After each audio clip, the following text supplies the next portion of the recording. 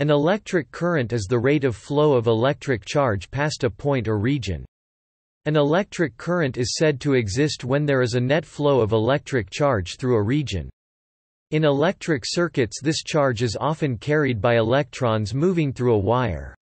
It can also be carried by ions in an electrolyte, or by both ions and electrons such as in an ionized gas plasma. .The SI unit of electric current is the ampere, which is the flow of electric charge across a surface at the rate of 1 coulomb per second. The ampere symbol, A, is an SI base unit electric current is measured using a device called an ammeter. Electric currents cause Joule heating, which creates light in incandescent light bulbs. They also create magnetic fields, which are used in motors, inductors and generators. The moving charged particles in an electric current are called charge carriers. In metals, one or more electrons from each atom are loosely bound to the atom, and can move freely about within the metal. These conduction electrons are the charge carriers in metal conductors.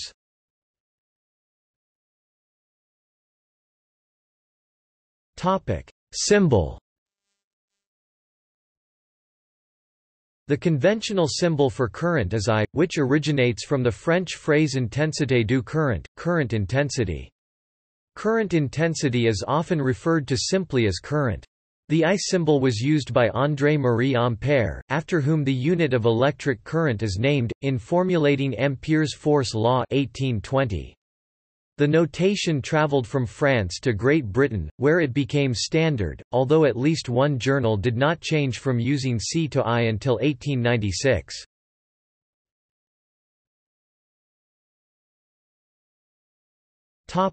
Conventions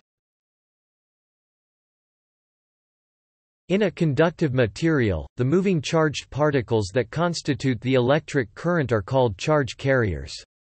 In metals, which make up the wires and other conductors in most electrical circuits, the positively charged atomic nuclei of the atoms are held in a fixed position, and the negatively charged electrons are the charge carriers, free to move about in the metal.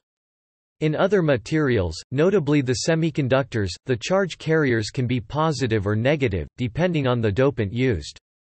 Positive and negative charge carriers may even be present at the same time, as happens in an electrolyte in an electrochemical cell. A flow of positive charges gives the same electric current, and has the same effect in a circuit, as an equal flow of negative charges in the opposite direction. Since current can be the flow of either positive or negative charges, or both, a convention is needed for the direction of current that is independent of the type of charge carriers.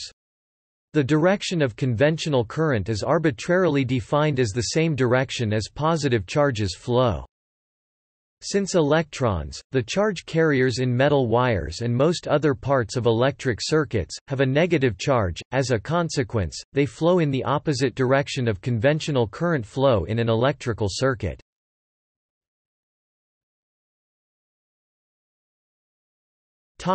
Reference direction Since the current in a wire or component can flow in either direction, when a variable I is defined to represent that current, the direction representing positive current must be specified, usually by an arrow on the circuit schematic diagram. This is called the reference direction of current I. If the current flows in the opposite direction, the variable I has a negative value. When analyzing electrical circuits, the actual direction of current through a specific circuit element is usually unknown. Consequently, the reference directions of currents are often assigned arbitrarily. When the circuit is solved, a negative value for the variable means that the actual direction of current through that circuit element is opposite that of the chosen reference direction. In electronic circuits, the reference current directions are often chosen so that all currents are toward ground. This often corresponds to the actual current direction, because in many circuits the power supply voltage is positive with respect to ground.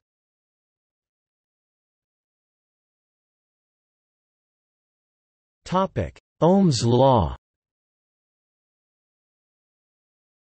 Ohm's law states that the current through a conductor between two points is directly proportional to the potential difference across the two points. Introducing the constant of proportionality, the resistance, one arrives at the usual mathematical equation that describes this relationship. I equals V R display style I equals frac V R where I is the current through the conductor in units of amperes, V is the potential difference measured across the conductor in units of volts, and R is the resistance of the conductor in units of ohms. More specifically, Ohm's law states that the R in this relation is constant, independent of the current.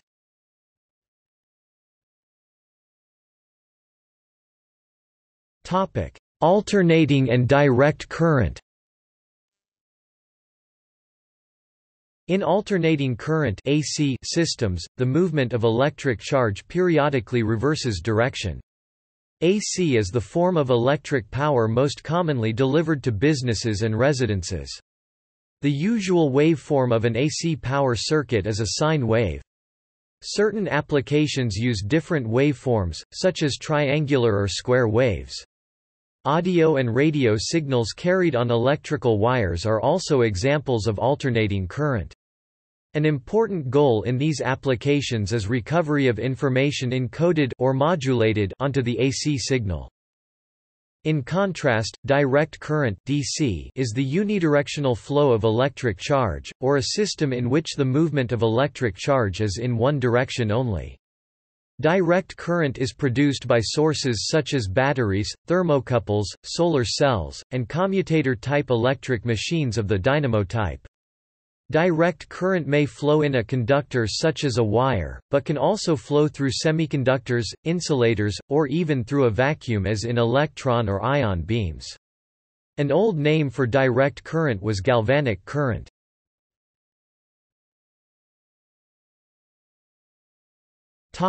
Occurrences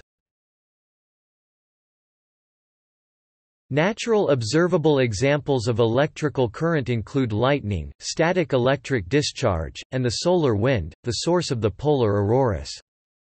Man-made occurrences of electric current include the flow of conduction electrons in metal wires such as the overhead power lines that deliver electrical energy across long distances and the smaller wires within electrical and electronic equipment. Eddy currents are electric currents that occur in conductors exposed to changing magnetic fields. Similarly, electric currents occur, particularly in the surface, of conductors exposed to electromagnetic waves. When oscillating electric currents flow at the correct voltages within radio antennas, radio waves are generated. In electronics, other forms of electric current include the flow of electrons through resistors or through the vacuum in a vacuum tube, the flow of ions inside a battery or a neuron, and the flow of holes within metals and semiconductors.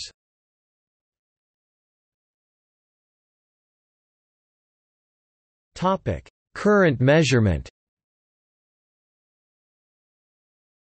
Current can be measured using an ammeter.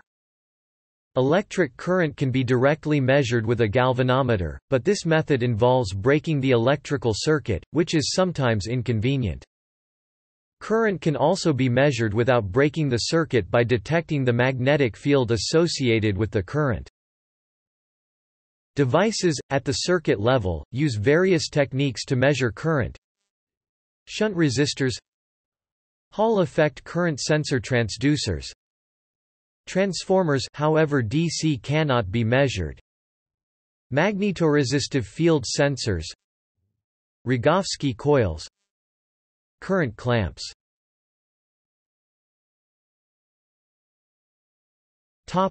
Resistive heating Joule heating, also known as ohmic heating and resistive heating, is the process of power dissipation by which the passage of an electric current through a conductor increases the internal energy of the conductor, converting thermodynamic work into heat. The phenomenon was first studied by James Prescott Joule in 1841. Joule immersed a length of wire in a fixed mass of water and measured the temperature rise due to a known current through the wire for a 30-minute period. By varying the current and the length of the wire he deduced that the heat produced was proportional to the square of the current multiplied by the electrical resistance of the wire. P I 2 R display style P propto I caret 2 R This relationship is known as Joule's law.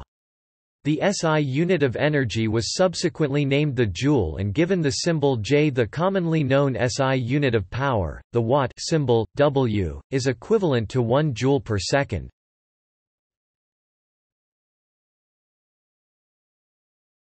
Topic: Electromagnetism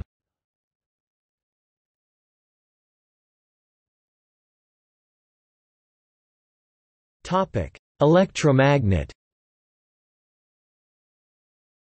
In an electromagnet a coil of wires behaves like a magnet when an electric current flows through it. When the current is switched off, the coil loses its magnetism immediately. Electric current produces a magnetic field. The magnetic field can be visualized as a pattern of circular field lines surrounding the wire that persists as long as there is current.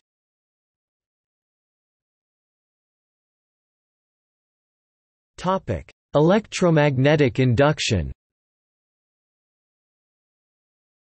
Magnetic fields can also be used to make electric currents. When a changing magnetic field is applied to a conductor, an electromotive force EMF is induced, which starts an electric current, when there is a suitable path.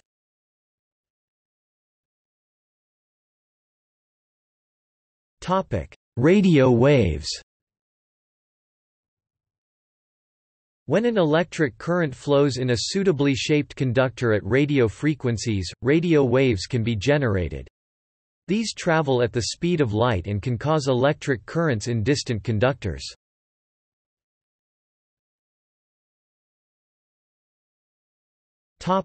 Conduction mechanisms in various media In metallic solids, electric charge flows by means of electrons, from lower to higher electrical potential. In other media, any stream of charged objects ions, for example, may constitute an electric current.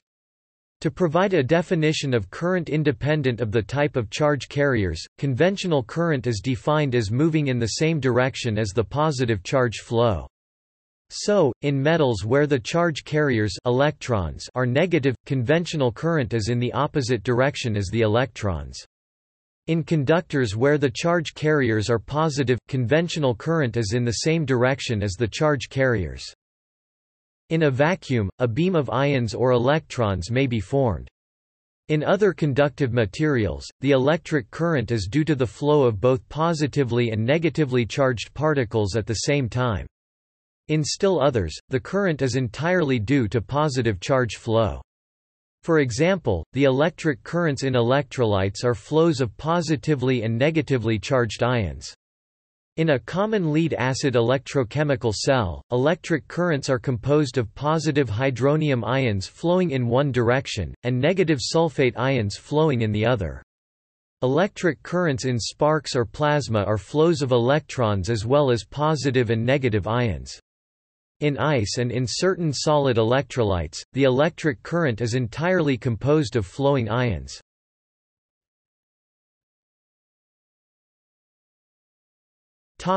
Metals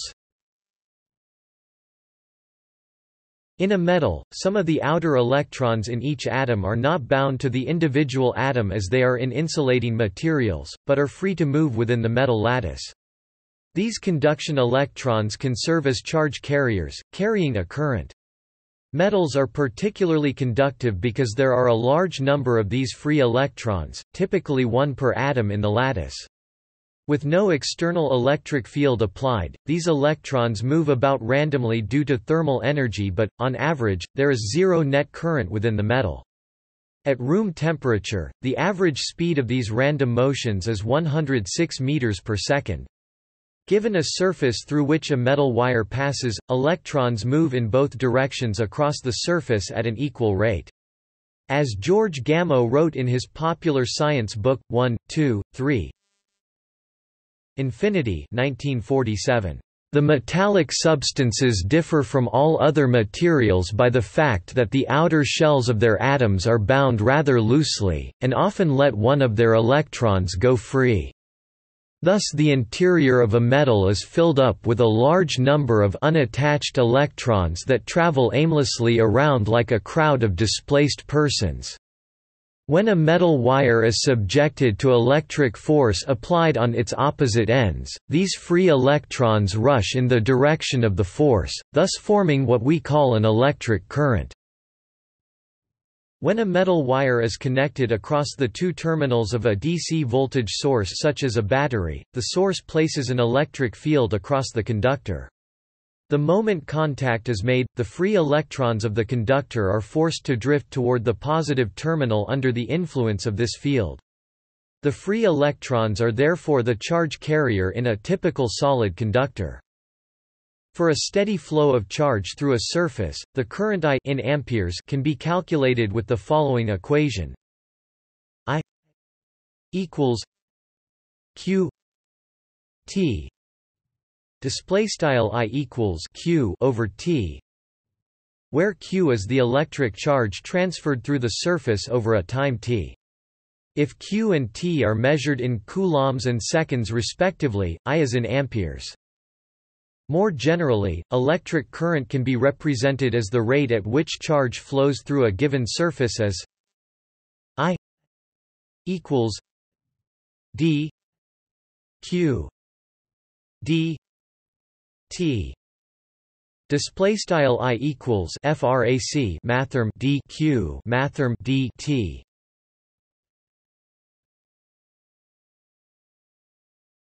Topic electrolytes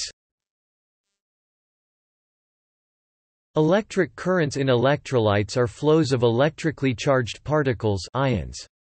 For example, if an electric field is placed across a solution of Na and Cl and conditions are right the sodium ions move towards the negative electrode cathode, while the chloride ions move towards the positive electrode anode. Reactions take place at both electrode surfaces, neutralizing each ion. Water ice and certain solid electrolytes called proton conductors contain positive hydrogen ions protons that are mobile. In these materials, electric currents are composed of moving protons, as opposed to the moving electrons in metals. In certain electrolyte mixtures, brightly colored ions are the moving electric charges. The slow progress of the color makes the current visible.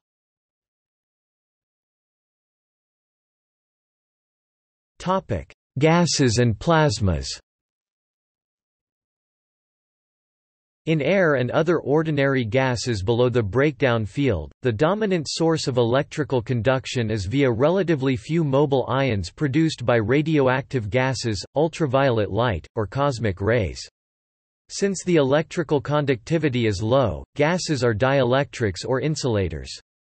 However, once the applied electric field approaches the breakdown value, free electrons become sufficiently accelerated by the electric field to create additional free electrons by colliding, and ionizing, neutral gas atoms or molecules in a process called avalanche breakdown.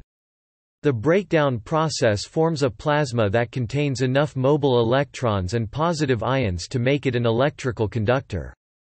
In the process, it forms a light-emitting conductive path, such as a spark, arc or lightning.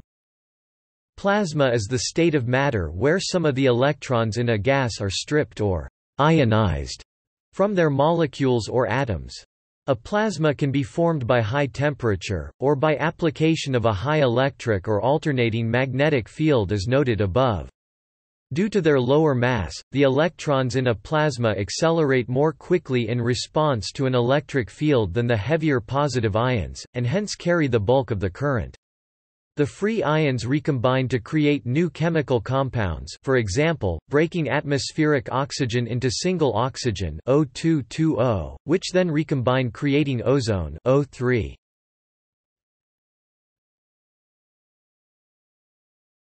Topic: Vacuum Since a perfect vacuum contains no charged particles, it normally behaves as a perfect insulator. However, metal electrode surfaces can cause a region of the vacuum to become conductive by injecting free electrons or ions through either field electron emission or thermionic emission. Thermionic emission occurs when the thermal energy exceeds the metal's work function, while field electron emission occurs when the electric field at the surface of the metal is high enough to cause tunneling, which results in the ejection of free electrons from the metal into the vacuum. Externally heated electrodes are often used to generate an electron cloud as in the filament or indirectly heated cathode of vacuum tubes. Cold electrodes can also spontaneously produce electron clouds via thermionic emission when small incandescent regions called cathode spots or anode spots are formed. These are incandescent regions of the electrode surface that are created by a localized high current.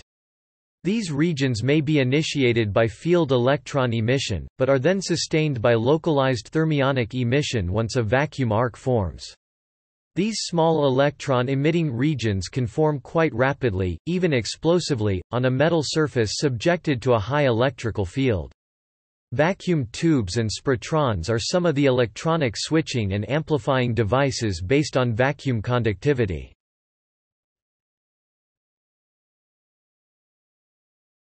Superconductivity. Superconductivity is a phenomenon of exactly zero electrical resistance and expulsion of magnetic fields occurring in certain materials when cooled below a characteristic critical temperature. It was discovered by Heike Kamerlingh Onnes on April 8, 1911 in Leiden. Like ferromagnetism and atomic spectral lines, superconductivity is a quantum mechanical phenomenon. It is characterized by the Meissner effect, the complete ejection of magnetic field lines from the interior of the superconductor as it transitions into the superconducting state. The occurrence of the Meissner effect indicates that superconductivity cannot be understood simply as the idealization of perfect conductivity in classical physics.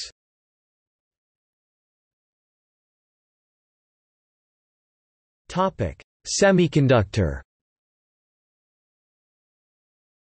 In a semiconductor it is sometimes useful to think of the current as due to the flow of positive holes, the mobile positive charge carriers that are places where the semiconductor crystal is missing a valence electron.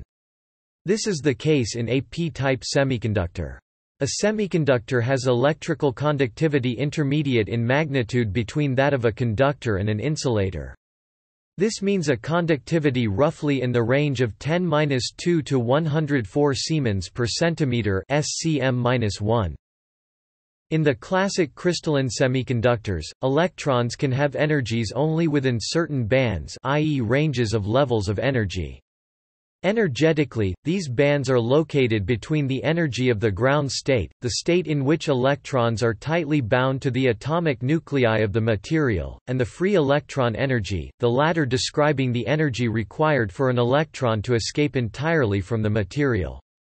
The energy bands each correspond to a large number of discrete quantum states of the electrons, and most of the states with low energy closer to the nucleus are occupied, up to a particular band called the valence band. Semiconductors and insulators are distinguished from metals because the valence band in any given metal is nearly filled with electrons under usual operating conditions, while very few semiconductor or virtually none insulator of them are available in the conduction band, the band immediately above the valence band. The ease of exciting electrons in the semiconductor from the valence band to the conduction band depends on the band gap between the bands. The size of this energy band gap serves as an arbitrary dividing line roughly 4 electron volts between semiconductors and insulators. With covalent bonds, an electron moves by hopping to a neighboring bond. The Pauli exclusion principle requires that the electron be lifted into the higher anti-bonding state of that bond. For delocalized states, for example in one dimension, that is in a nanowire, for every energy there is a state with electrons flowing in one direction and another state with the electrons flowing in the other. For a net current to flow, more states for one direction than for the other direction must be occupied. For this to occur, energy is required, as in the semiconductor the next higher states lie above the band gap. Often this is stated as, full bands do not contribute to the electrical conductivity. However, as a semiconductor's temperature rises above absolute zero, there is more energy in the semiconductor to spend on lattice vibration and on exciting electrons into the conduction band. The current-carrying electrons in the conduction band are known as free electrons, though they are often simply called electrons if that is clear in context.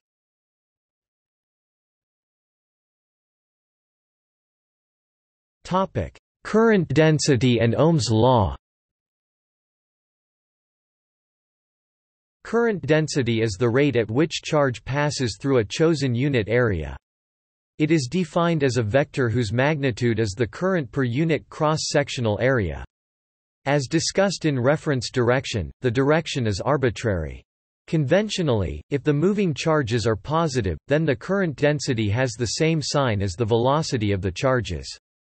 For negative charges, the sign of the current density is opposite to the velocity of the charges.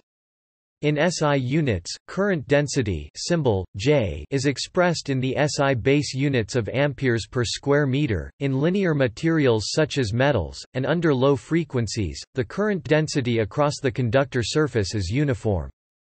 In such conditions, Ohm's law states that the current is directly proportional to the potential difference between two ends across of that metal ideal resistor or other ohmic device. I equals V R display style I equals V over R where I display style I is the current measured in amperes V. Display style V is the potential difference measured in volts and R. Display style R is the resistance measured in ohms. For alternating currents, especially at higher frequencies, skin effect causes the current to spread unevenly across the conductor cross-section, with higher density near the surface, thus increasing the apparent resistance.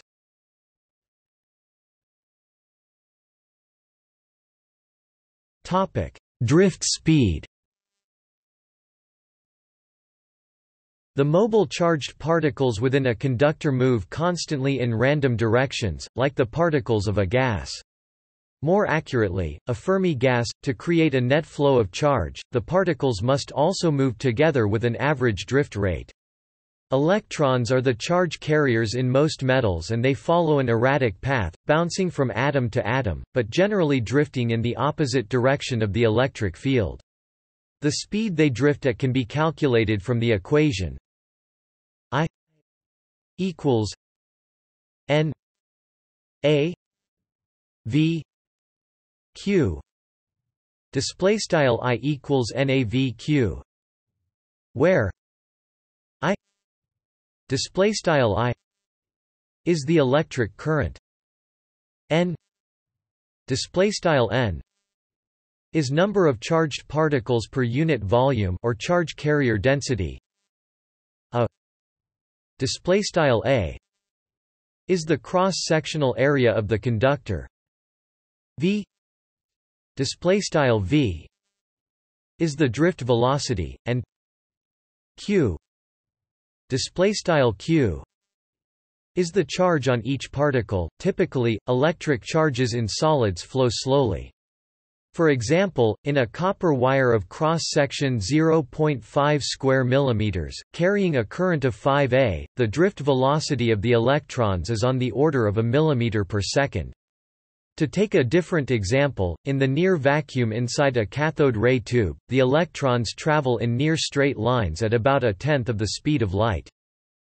Any accelerating electric charge, and therefore any changing electric current, gives rise to an electromagnetic wave that propagates at very high speed outside the surface of the conductor.